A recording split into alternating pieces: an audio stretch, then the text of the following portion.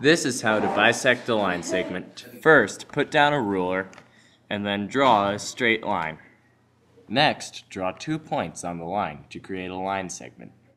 Next, adjust your compass to the length of the two points. Next, draw two arcs using the compass. Start each arc at a different point.